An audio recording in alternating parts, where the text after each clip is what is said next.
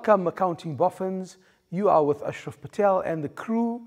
Today, we're continuing with cash budgets. We're doing a revision question to ensure that you fully understand and grasp all the questions around cash budgets. Okay, so here we go. A quick recap. Remember when dealing with the cash budget, what did we say? We said that when we're dealing with the cash budget, we said that you're looking at receipts and payments. And when you look, when you're working with a projected income statement, you are looking at your incomes and expenses. Remember the terminology income that we have earned and expenses that we have incurred. Okay. So, once again, what is a projected income statement? A projected income statement is used to plan and predict the amount of profit the enterprise will generate through its future operations by setting out the estimated estimated remember we are forecasting for the future. So what are we forecasting? Our income and expenses for the forecast period. All right okay. So now we are expected to indicate whether the following statements are true or false. A cash budget is prepared to show the actual receipts and payments for a specific period. What are we talking about? Cash budgets. So obviously, yes, we are talking about receipts and payments. So obviously, this will be, the statement will be true. A projected income statement would reflect the expected profit or loss for the budget period. Once again, look at the terminology. They're talking about a projected income statement would definitely reflect your profit or loss for your budget period. Okay. Indicate whether the following statement is true or false. Only nominal accounts are recorded in the cash budget. Right, let's think about this one carefully. Is it only nominal accounts that appear in my cash budget? And the answer is actually false. Why? Because in my cash budget, I could get the purchase of land and buildings. Now, land and buildings is certainly not a nominal account, it's an asset account. Therefore, this statement would be false. And I'm explaining to you why it's false. Moving on to our question, we are now told that we have information relating to Z2 builders for the two months ended 30th of September 2020, right? So that's our budget period. Okay, what are we expected to do? We are expected to complete the debtors collection schedule, right? For the two months ended the 30th of September 2020. Now, this is when we talk about a debtors collection schedule. The emphasis is on credit sales. This is very, very important. The moment the question directs you towards a debtors collection schedule, immediately you know that to start completing that schedule, you need your credit sales. Right? Okay. Now, this is your monthly total sales that you are given here, right? And obviously, there's your actual and your budgeted. But remember, this is now total sales. Whereas your focus when you are doing a debtors collection schedule is your credit sales. Okay, now a slight variation in this question. Look at the, look at the different method the examiner uses for this particular question. The question says, debtors pay according to the following trend. Right? Remember, we need, we need the trend to determine how we're going to draw up our debtors collection schedule. So therefore, 50% pay in the month following the month of sale. In other words, if you sold in June, in July you will collect 50% of that debt. Then they give you a unknown percentage pay in the second month following the month of sale. An unknown percentage is given to you. So in this particular instance, you can clearly see you have been working, you Ofei, you know that generally you are told 50%, 20%, 18%, whatever the percentages may be. But in this particular activity or in this particular question, you don't know the percentage that you have to calculate on, right? But like we say, don't fear when Ashraf is near. Because I'm going to show you how you go about doing a question of this nature. Okay, so the same applies to your, the, the month thereafter is also an unknown, and then you are told that 2% is written off as irrecoverable. Okay, so the, this is the trend in which our debtors will be paying us. Right, so immediately we go on to the question and we say, right, fine. Now look at the information that you have, right? You are told that this is your credit sales figure, which is exactly what we want. So we have our credit sales figure, right? We are also told that in May, I have my credit sale, right? Now remember what was the trend? They pay you 50% in the month after the month of sale.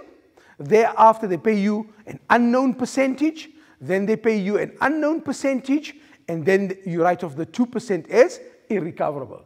So my question to you is, looking at May, how will May impact on my budget period? So, if I sold for credit in May, some of the debt, the 50% of the debtors will pay in June, right?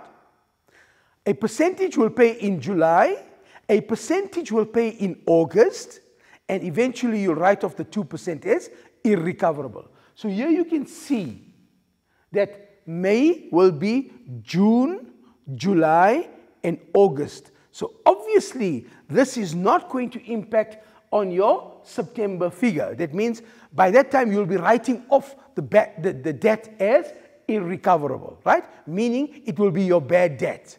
Okay, but keep that in mind because later on the question may ask us to calculate the bad debt. Okay, now look at June.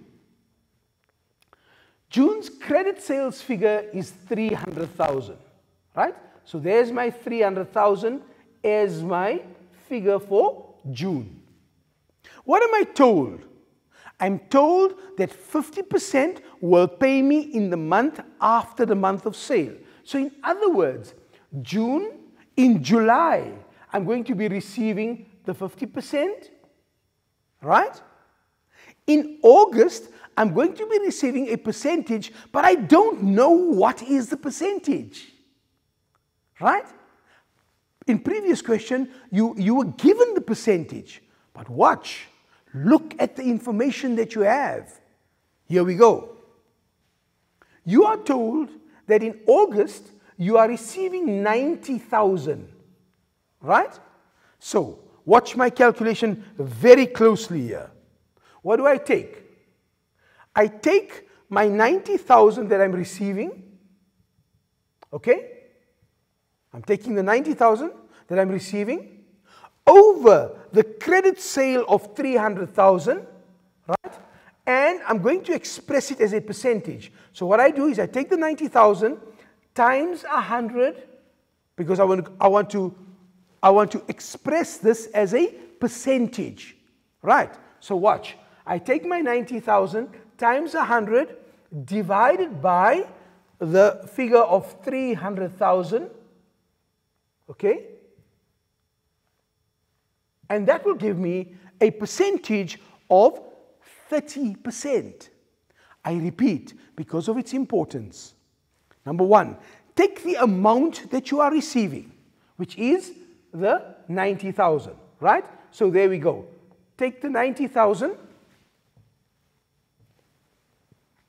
Take your 90,000 over the 300,000, which is my um, the credit sale, times 100 over 1. Obviously, it will give me, like we calculated, it will give me a percentage of 30%. Okay? So there we go. I've got the 30% now. This indicates what to me? That the percentage that I'm receiving, we said 50% in the month after the month of sale. Thereafter, I'm receiving 30%. And how did I do it? Based on the, can you see June's figures are filled in for you.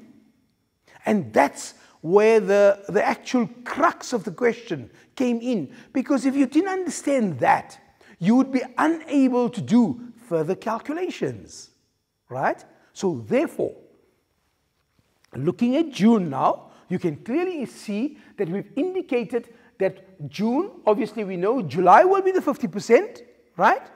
August will be what we've calculated to be the 30%, right? Let us now do September, right? Understand, we're still working with the credit sale of June, right? What do we do? Same procedure. Here goes. We take the 54,000, 54,000, right? Times 100, remember we want to express as a percentage, divided by the original figure, which is your credit sale of 300,000, and that will give you a figure of 18%. In other words, you can clearly now see what is your trend in terms of your calculations. Once again, 50% in the month after the month of sale. So, if you looked at June, right, obviously they did not give you July, but obviously you can see from June you went into August. That was the month after that month. So the first month was the 50%, which we would have received in July, obviously. But in August, we're receiving the 30%, and you saw and actually showed you how we calculated the 30%. Right? And then obviously in September, based on your June credit sale, you are now receiving the 18%. And you can clearly see now that your June figure, how will it impact in September? It will be the 2% that you will write off as irrecoverable. So, accounting boffins out there, you had to use the given information in order to determine your trend. And as we have now seen, we know our trend is what? 50% in the month after the month of sale. Thereafter, it's 30%. The month thereafter and the month thereafter is 18%. And then eventually you write off your 2%. Okay, now once we've, once we've calculated that, once we've ascertained that we know exactly how to work out our trend, the rest of, the rest of it becomes easy, isn't it? Piece of cake, chocolate cake, my favorite. Okay, here we go. So now it's very simple. You're going to take your June figures, right? and you're going to calculate the impact on August and on September. And here you can clearly now see that here's this is just information regarding your receipts. They're telling you that if it, obviously if the cash sales is 150,000 rand for August, 75% is your credit sales. You can clearly see that 25% of those total sales will be your cash sales, right? Again, information that's provided to you. So if we now look at our completed debtors collection schedule, this is what we have here. Take your 375,000, right? If you take your 375,000, 375,000 Obviously, we know that that's July. They'll pay in August will be times your 50%. And here we go. You're going to get 187, 500. If you take July's figure, multiplied by the 30%, let's do that. Take the July figure, 375,000, times your 30%. Clearly, you can see that it's 112,500. So in this case here, clearly you can see that once you've ascertained your percentages, it becomes easy to calculate. You know July, that is your 50%. Let's put it there. That will be your 30%. August, if you take 450, we know the month thereafter is the 50%. So in this way, you now complete your debtors collection schedule. Here you can see, here's our other question that we referred to early on, where you to calculate the bad debts. Now remember, what did we say? We said that 2% is written off as irrecoverable. Looking at my calculation, your sale was 262,500 times the 2%. Clearly you can see that the amount of bad debts will be 5,250. So, what was important in this segment was to ascertain, firstly, the 50% was given to you. We calculated the 30%. We calculated the 18%. 50 plus 30 is 80, 98, and there's your 2% bad debt. So these are your percentages that will be effective in terms of your trend. Okay. In summary, when you are doing a debtors collection schedule, most important figure is your credit sales. Once you've ascertained your credit sales, you now look at your trend. What is my trend? What are my percentages? And then you just go to back to your credit sales, calculate your percentages, and voila, you've got your answer. Okay? Let's take a quick break, let's refresh, and we'll see you in a jiffy.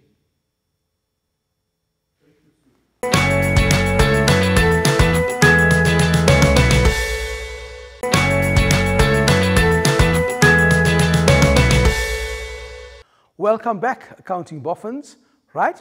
Remember, we're busy with a question on cash budgets. A quick recap, when you are dealing with budgets, please note, ask yourself the question. And in accounting, here's another trick for you for the exams, an examination tip. In accounting, you have to be mad. What do I mean by that? Talk to yourself. Sometimes you need good advice, right? So talk to yourself. Ask yourself, talk to yourself and say, right, what is required here? What am I expected to do? Remember what we said? If you're doing the cash budget, you're looking at receipts and payments. And if, you are, if the question is based on, on the projected income statement, then clearly you're looking at incomes and expenses. Okay.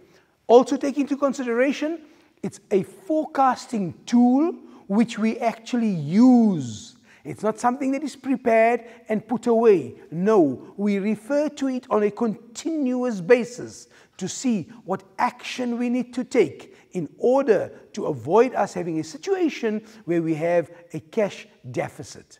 Okay, or a loss.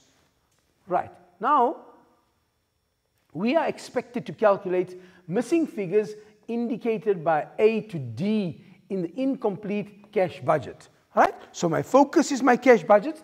Let's look at it and see. There's my cash budget. As you can see, there are missing figures. Now, just before we go into the missing figures, just to draw your attention to the cash budget. Remember, under your receipts, you're going to have all your cash items. As you can see, cash sales, collections from debtors. Now remember, in the previous segment, we did the debtors collection schedule that debtors collection schedule will fit into my cash budget. Can you see collections from debtors? Now, obviously, we calculated those figures, so that will fit into my cash budget, right? Fixed deposit, clearly you can see this is a fixed deposit that has matured, meaning money has come into the business, right?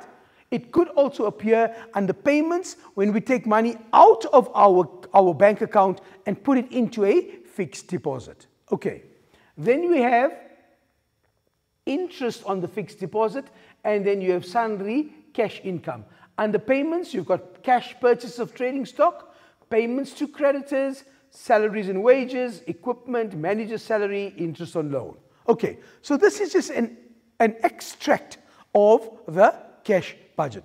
What are we expected to calculate? Firstly, the cash sales for September. What information do we have? We are told that our total sales amounts to 800,000 Rand. Credit sales amounts to 75% of the total sale, clearly giving you an indication that your cash sale has to be 25%. How do I get that? Clearly, 100% total sales minus credit sales of 75% will then give me my 25% cash sales. So this is what I do. Immediately I say, fine, take out my calculator. There we go. 800,000 is my total sales, right? Times the 25%, which will now be my cash sales. And there we go. 200,000 is my cash sales for the month of September. So here now, if I now go and look at my calculation, their cash sales, I slot in the 200,000, which was a required in terms of my question. Got it? So determine cash sales, credit sales, percentages, and then the calculation. Right. The next thing that I have to calculate now is my cash purchase of trading stock. Let's see information that we have. Information regarding purchases. Okay, in this question, the examiner was kind to you. They gave you the purchases figure. But remember, whenever you're calculating either cash purchase of trading stock or payments to creditors, the most important figure you have to calculate is your cost of sales. Once you have calculated your cost of sales, you then break it up into cash purchases and credit purchases. And the reason we do that is because in our questions, we use what is called base stock. What is base stock? Base stock simply means whatever stock you start off with at the beginning of the month is the stock that you will end off at the end of the month. So whatever you Whatever stock leaves the business is the stock that will be bought to replenish so that we have the same amount of stock at the beginning of the next month. Got that? Brilliant. Okay, so here we go. We are told that 40% of all purchases are for cash, right? Here we have our purchases figure, and we are also told that creditors are paid in full after 30 days to take advantage of a 5% discount. We'll come to you later. Right now, let's focus on the question at hand, which is the cash purchases. So, this is what we do. Remember, we want cash purchases for August. So, the first thing that you do is you determine your August figure for purchases, which is 550,000.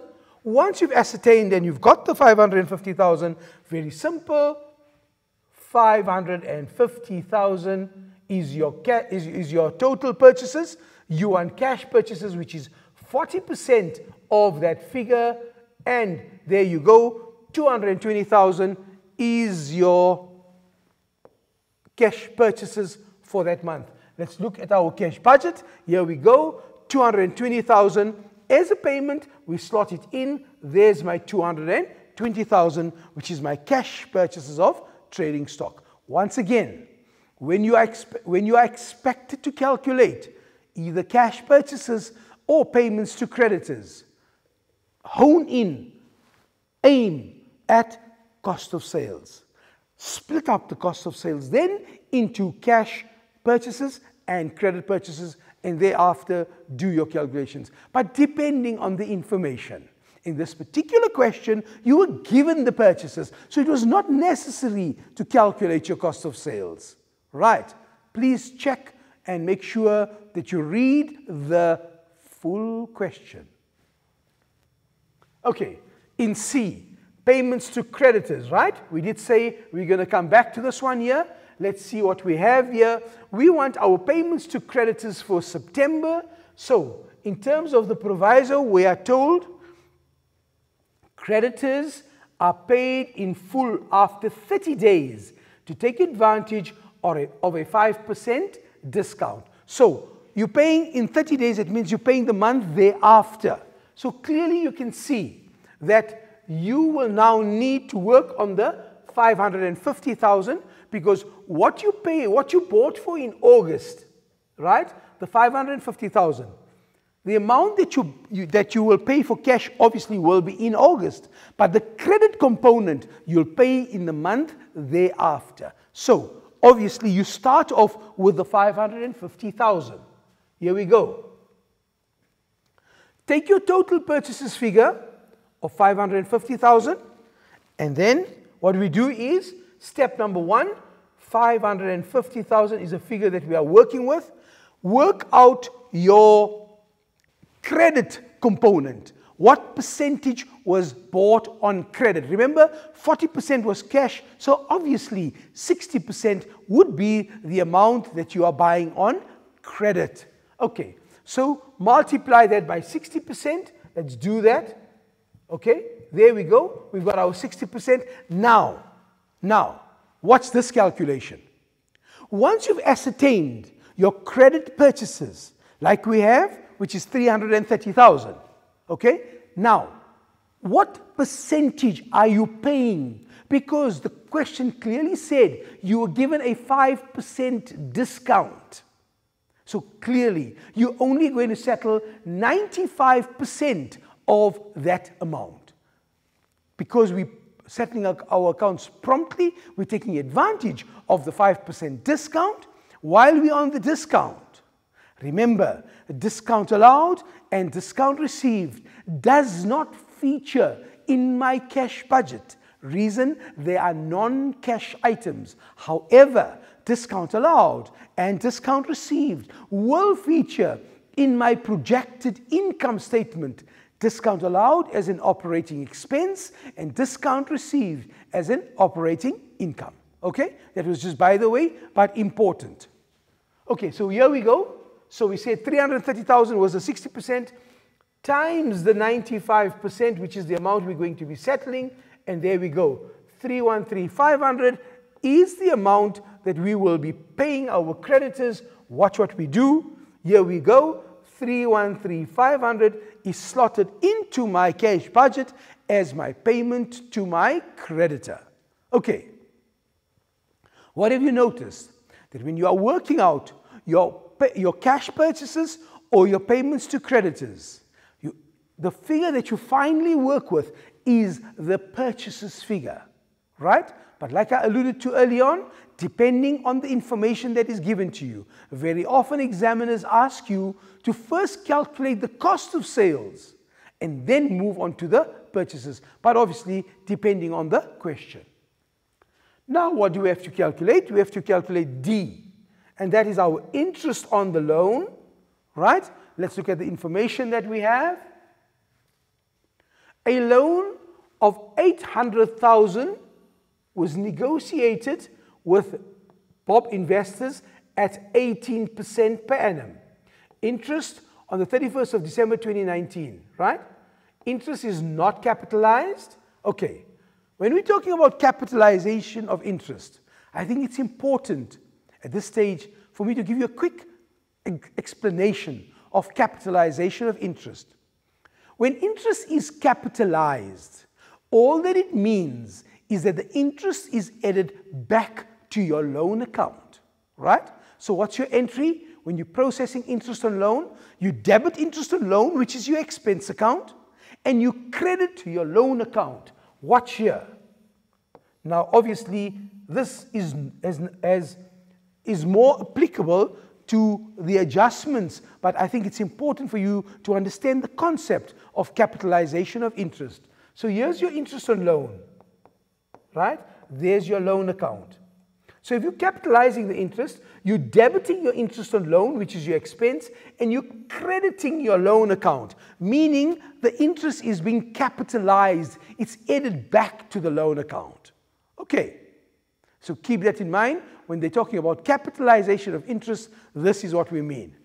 Okay, all right, in terms of the question, we are told that the interest is payable every three months on the 31st of March, June, and September, and the 31st of December, commencing on the 31st of March 2020. Okay, so here we go. Interest on loan start with 800,000, which is the capital portion of my loan. Therefore, this is what I do. Start off with the 800,000. 800,000 is the amount of my loan. Okay, now, the rate of the interest was 18%. So obviously, you're going to multiply this by your rate. Take into consideration what we've always said, art, amount, rate, and time. So the amount is 800,000. As you can see, my rate is uh, 18%, and my time, in this case here, will be the 3 over 12. Right, so whenever you're doing any interest-based calculation, right, or you're doing a calculation on depreciation, always take into account art, amount, rate, and time. It's very important to get used to this calculation. Okay, so if we look at our calculation, it's 800,000 times the 18%. Let's do that. Will give me a figure of uh, 144,000 times 3 divided by 12. And clearly you can see your amount is 36,000 Rand, meaning it will be paid off every three months. You'll be paying off an amount of 36,000 Rand. Now, in this particular one, how does it impact on our cash budget? Let's see. There we go. Clearly you can see in September, which is one of the months in which the payment will be made, we will be making a payment of 36,000 Rand. Okay, so what have we done? We've, we've we have successfully completed the missing figures. That was A, B, C, and D. And in this way, you can clearly see we have now completed all our calculations. All right. I think a whole lot of calculations has caused uh, a bit of tiring amongst all of us. Concentration levels. Let's take a quick break. When we come back, we'll be refreshed to do our last segment. See you just now.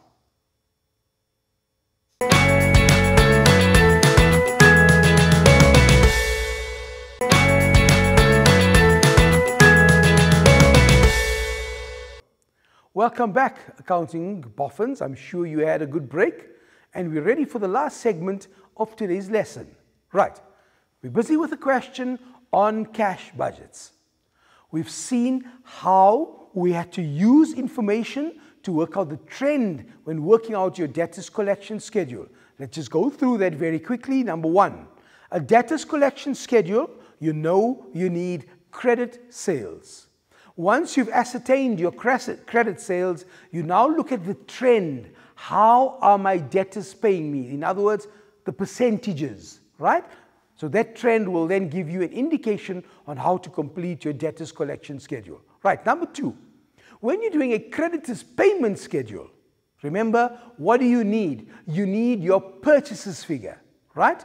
And we're using the assumption that we're using base stock, meaning we replenish stock on a monthly basis. So whatever stock leaves during the month is the amount of stock that we will buy to ensure that we start off with the same amount of stock for the beginning of the next month. Okay, so that purchases figure is dependent on your cost of sales.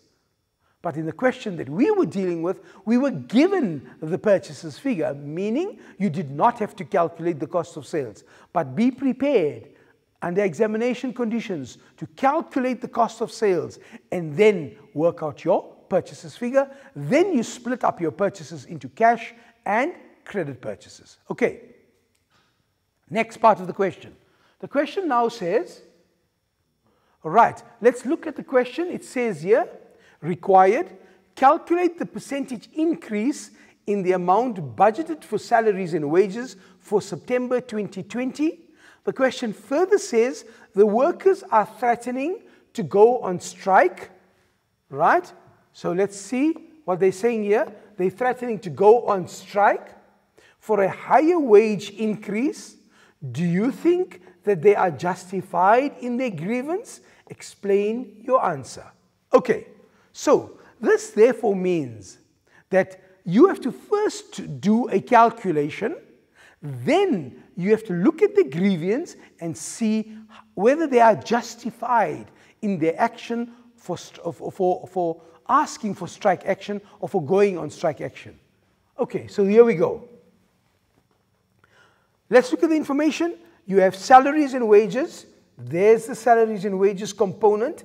Let's firstly isolate it. So step number one, look at the salary for September, which is 48,600. Compare it to the previous months, and that was 45,000. So step number one, what do you do? You take your 48,600, right? Take your 48,600 minus your 45,000, subtract your 45,000, right? Clearly you can see the difference between that will be 3,600. So, step number one, calculate the difference between the two months. It is important that you learn method, right? So, what, what have I done? I took my 48,600, which was the month of September, and I subtracted the August figure. Clearly, you can see there's my calculation to give me my 3,600. What is the 3,600? The difference between the two months.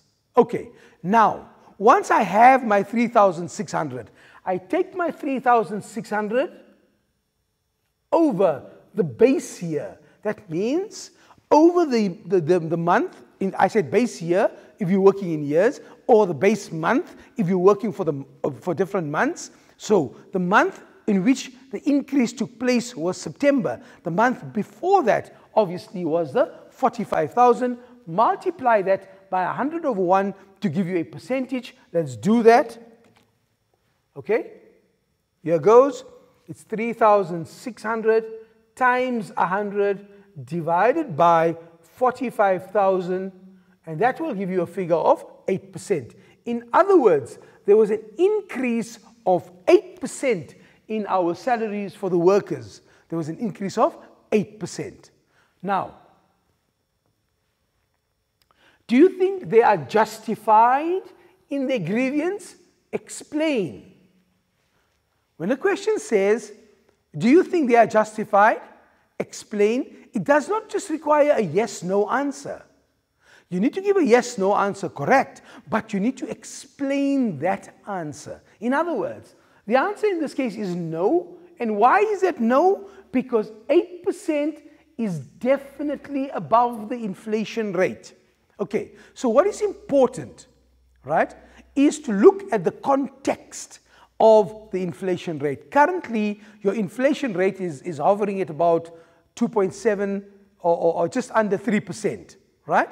So what we're saying is that it, under these conditions, under today's conditions, my answer would obviously be no, because if you're getting an 8% increase and inflation is, is hovering at about 3%, it is well above the inflation rate. So they have no uh, reason to behave in the, way, in the manner that they are behaving because they have received an increase well above the inflation rate. However, if the inflation rate was 12%, watch how it changes your answer. Now your answer is yes, they have a grievance. Why? Because they're only receiving 8%, but the inflation rate is at 12%. So obviously, workers have cause for concern. Look at the context of the question. All right. Now, we then went further and said, um, if you compare the percentage increase for the manager's salary, let's look at the manager now. And look at the manager's salary, step number one, 47150. Let's do that. Let's take the 47150, 47150 minus the 41,000,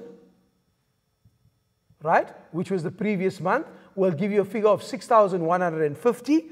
Therefore, what we do, we take the 6,150 over the 41,000, which was the previous month, times 100 over 1, we're expressing it as a percentage, and now you find that the manager's salary has increased by 15%. Can you see a different angle to the question? So this is where you are expected now to make a comparison between the wages increase for the normal workers and the manager. Clearly you can see there is a case now for the for their grievance. Why?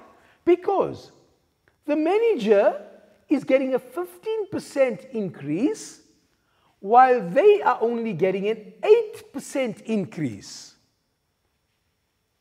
It is a clear indication of disparity of increases. And that is why it is important that you have committees set up in your workplaces where all of these things are then negotiated. There must be transparency, right? So that you can then, obviously, if you have a remunerations committee set up who would look at things like this here, obviously, this would then result in there being understanding between all the employees within our firm so that, it is, that there's a fair and equitable increase to everybody. Right, so in this particular example that we have here, we can clearly see that there's disparity. Why? 8% and compare it to the manager is your 15%. Clearly cause for concern.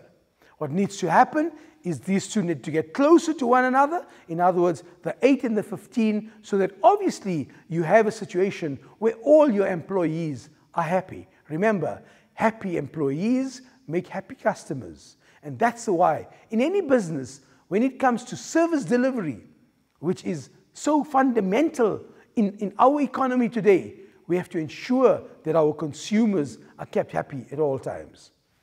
Right. So, what is important, uh, just to summarize the, the, the figures that we've worked out, look at the information that you have here. You had to identify the salaries and wages, you had to identify the manager's salary, and once you've identified those two, you would then make your comparisons based on the answers that you get. Okay, a question now arises that if perchance you make an error in your calculation, right? Remember, as examiners, if there's an error in your calculation and you use the incorrect answers in justifying your explanations, you will be awarded the marks. Listen carefully to what I'm saying. That perchance, if you make an error in your calculation, but you use that incorrect calculation to justify your answer, you will get rewarded, marks will be allocated to that incorrect answer based on the incorrect calculation. So the double penalty principle is not applied. But most important is to show your calculations. Okay. We now move on to the next part of the question where we are told that a local town councillor has offered to recommend Z2 Builders Hardware to supply building materials to the value of million rand in the extension of a local municipality. However, he will only do this if Zwokele pays him 10% of the total value in cash. Give two reasons why Zwokele should not accept this offer. Okay. Number one, read the context of the question, look at what is being given to you. Now, very often, very often, this type of question, right, requires you to analyze and then make judgment or evaluate the question and then give a decision based on what we know. So, let's establish the facts first. Number one, the local town councillor has offered to recommend, that means they want to do something on our behalf. No problem. However, the councillor will only do this if Zwokele pays him 10% of the total value in cash. Clearly, you can see, clearly, you can see that this is unethical. It is something that should not be happening in our economy because there should be fair competition there should be tenders out there, and everybody should have a right to tender. And obviously, the person with the, with the best tender or, and the person who does the best job should be able to get the contract. Okay, look at our responses. One, number one, this is actually a bribe which is unethical, right? We've said that. It is unethical to do something like this. Why? Because it's a bribe. The person has said, only if you give me 10% in cash will I recommend you. Unethical, unacceptable in terms of business practice. Unethical in terms of life practices.